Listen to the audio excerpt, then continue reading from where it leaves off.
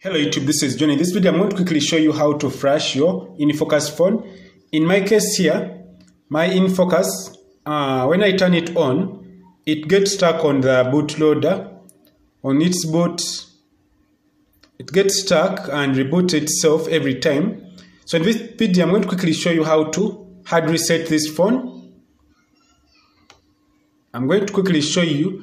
You're going to see that I have an issue here the phone reboots goes in to reboot again and again and again. So what we're going to do here i have my pc opened and i've i've brought some i have some flash files. As you can see here on the phone the phone reboots but it doesn't go to open the files. It reboots it reaches here then So in this video, I'm going to quickly show you how to flash this phone very quickly. So when your phone gets stuck here, I'm going to quickly show you how to unbrick it.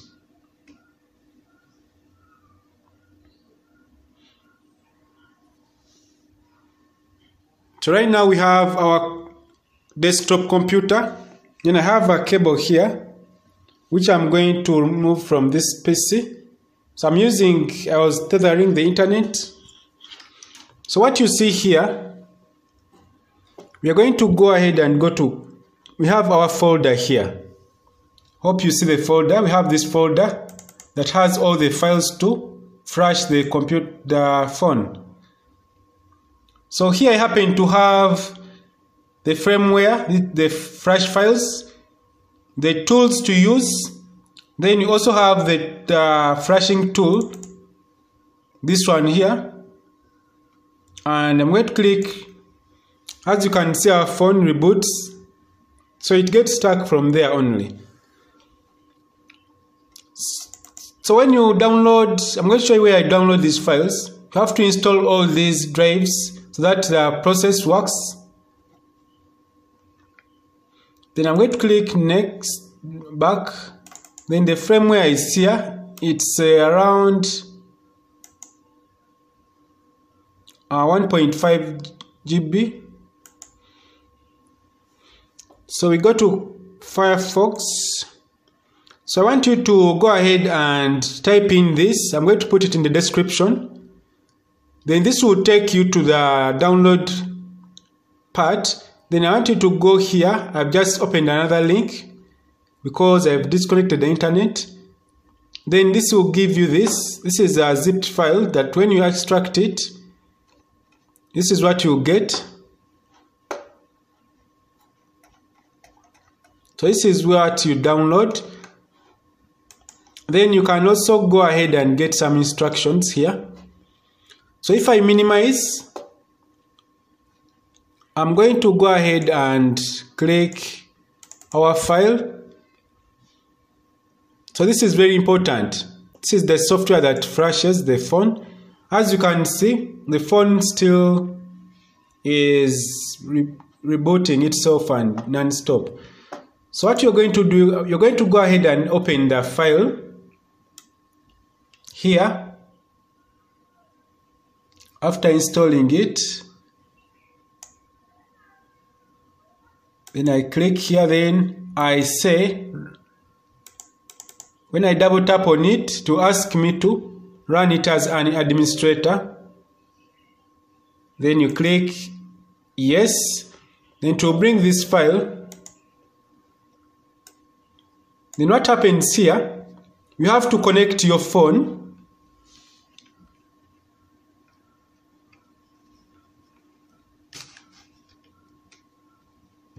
you have to connect your phone then after you click next the next step here we are going to go and select the the file from our the firmware. Then you select it from here. Then after you go for so you have this update here So for in my case here, I have some data on my phone. So I'm going to use the normal download. Then I'm not going to use the emergency one. This will just delete the user data. So I'm going to use this first one to flash the phone without losing any data. So if you are having a new phone, you can always delete. But in my case, I'm flashing it so that it can have the files. So what happens here, if I come back here, so the computer is going to update the phone. So it's loading the image. It's loading the image. Then our phone will reboot again.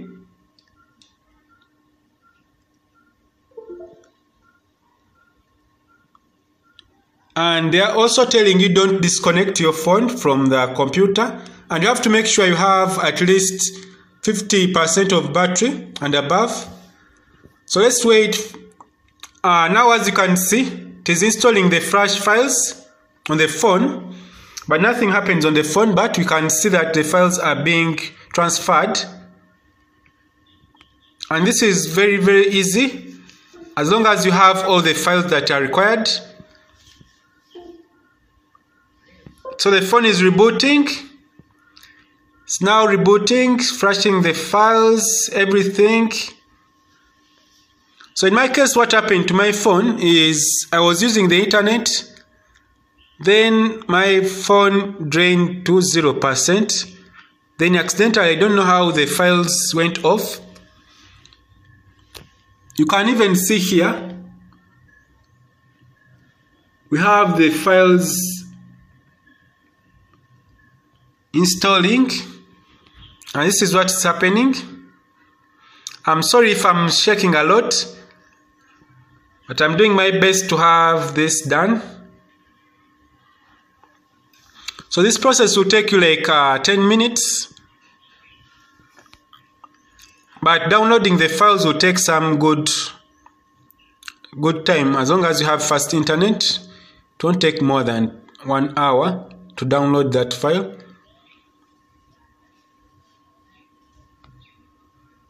So what we have here, our phone is installing files and this is our InFocus M2. We are in the download mode, M2 4G version. So this would work on the 3G version if you have the files installed. So right now our phone is completely and has successfully updated. And what we have here now we are going to focus on the phone and see if it opens. So we are going to focus here. And this is how you do the uh, this is how you do your flashing your phones. And right now we have the phone it has come back to normal and I have not lost my data because I used the normal mode. So right now here I had a video. Yes, I have my data there. I still have them. So thanks for watching. If this video is helpful, please subscribe to this channel. This is how you can flash your InFocus phone without losing any, any, any data. And this is an InFocus M2 as you can see I've flashed my phone without losing data. Yes and I can still go to let me check let me check. I can still go to messages.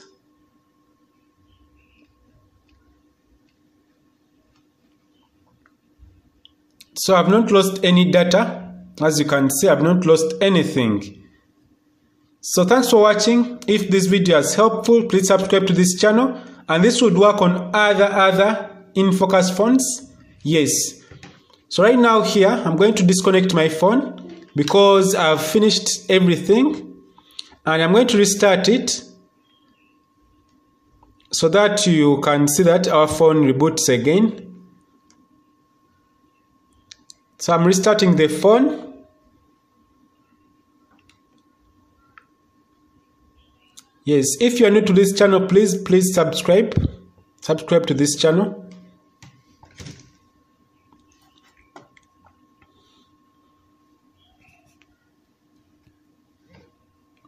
So the phone has rebooted.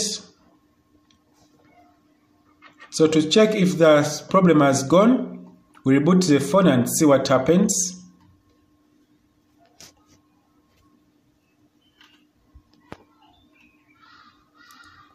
This is a very simple procedure that you can do yourself at home in this period. So this is how it works. So if the phone has a pattern that you don't know, you just go to the other option for erasing data. So I happen to have all my applications on the phone. So when you reach here, if you're having issues, had some issues. You have to install these drivers. These drivers are very, very important. These ones here. If you don't have them, you have to install the .NET. Have to install them for the computer to be, for the phone to be able to be seen. You have to install this, and all those files will come with the all this folder here. So thanks for watching. This is John. And make sure you subscribe, comment if you need any help. I'm going to put the link to that file. Have a nice time. Goodbye.